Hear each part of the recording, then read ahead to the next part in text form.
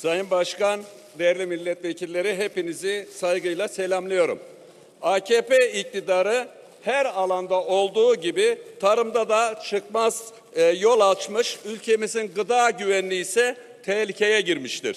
Sizin iktidarınız döneminde çiftçimizin anası ağladı, tarımı ve çiftçiyi yok ettiniz. Bunları boşuna konuşmuyoruz, havadan atmıyoruz. Şimdi size bunların nedenlerini örneklerle ve verilerle açıklayacağım.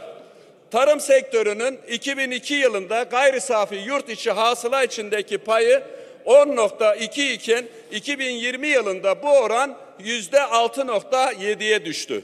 2022 bütçesinde ise tarımsal desteklemelerin payı 2002 yılındaki payın bile altına düşerek yüzde bir buçuk oranında gerçekleşti.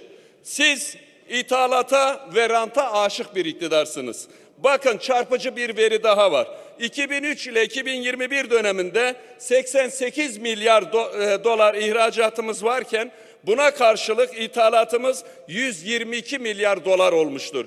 Yani tarımda dış ticaret açığımız ise tam 34 milyar dolar olmuştur. Yine dönemimizde döneminizde tohum, zira ilaç, gübre ve yem ithalatına 133 milyar dolar ödenmiş olup mazot başta bu girdiler Cumhuriyet tarihinde görülmemiş zamlar sizin iktidarınıza nasip oldu. Mazot geçen yıl 5 lira bile değilken bu yıl 10 liranın üzerine çıktı. Sayın Bakan, değerli milletvekilleri, bu elimde tuttuğum üre gübrede ise durum çok daha vahim bir durumdadır. Yakında bakanlığın vereceği bir ruhsatla belki de gramla satılacak, kuyumcularda satılacak, satılırsa şaşırmayalım. Fiyatı altından daha değerli. Nasıl öyle olmasın ki?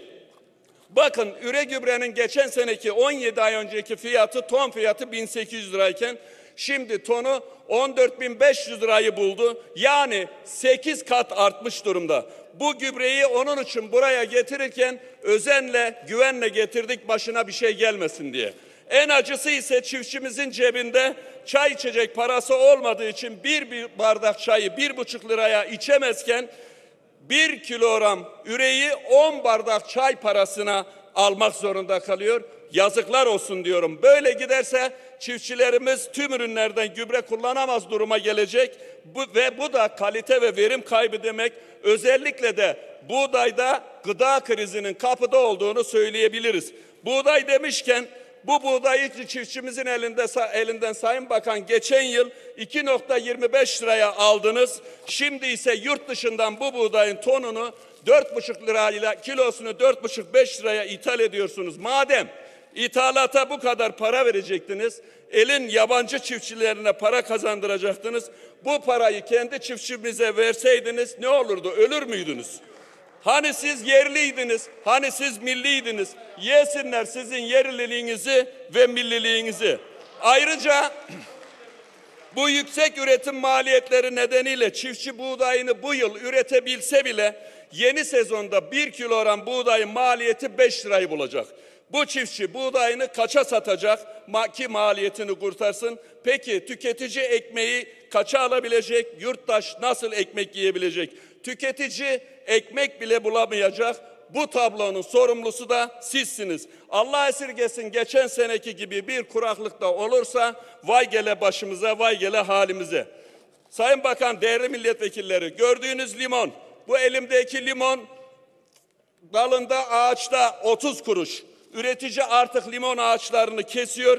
Üretici devlete güvendi, sizlere güvendi, inandı, bu ağaçları dikti. Ama şu anda kesiyorlar. Yazıktır, günahtır. Limon üreticisinin derdine derman olun, devletin yardım elini uzatın. Anayasamızın sosyal ve ekonomik haklar ve ödevler başlığının 3. bölümünün 45. maddesi der ki, devlet bitkisel ve hayvansal ürünlerin değerlendirilmesi ve gerçek değerinin üreticinin eline geçmesi için gereken tedbirleri alır ve önlemleri alır diyor. Hani tedbir nerede? Herhalde tedbirden anladığınız sizin çiftçiyi bitirmek, tarımı yok etmektir. Ama bunu asla başaramayacaksınız. Ayrıca bunca zamandır tarımda atama bekleyen gençlerimizin sesini duyun artık Sayın Bakan. Ziraat, gıda, su ürünleri, balıkçılık teknolojisi mühendisleri, veteriner hekimleri Buyurun Sayın Bakan. Tekniker ve teknisyenlerin atamasını yapın, somut bir takvim verin. Ayrıca sivil toplum kuruluşlarında geçen yıl ile aynı ücretle çalışmaya hatta ve hatta asgari ücretin altında çalışan tarım danışmanlarımızın insanca yaşatmak için sorunlarını çözün, ücretlerini iyileştirin. Sözlerime son verirken Sayın Bakanım, size, Bakan size burada bir kez daha açık çağrı yapıyoruz. Bu işi yapamadığınız ortada hemen hükümetinizle birlikte erken seçim kararı alarak insanlarımıza bir iyilik yapın. Sizden ve yanlış politikalarınızdan artık kurtulalım. Hiç değilse iş bilmez Tarım Bakanı olarak o makamı meşgul etmeyin.